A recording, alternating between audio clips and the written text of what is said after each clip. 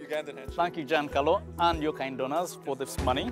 And this will help so many children like Medina here to get surgery and reconstructed so they can walk again.